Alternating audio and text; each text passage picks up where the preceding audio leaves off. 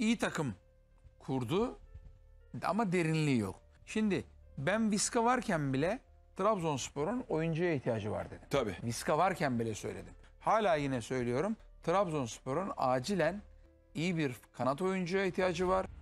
İyi bir futbolcuya ihtiyacı var. İyi bir futbolcu derken hem ortada hem sağda yani on numara gibiyim yani veya.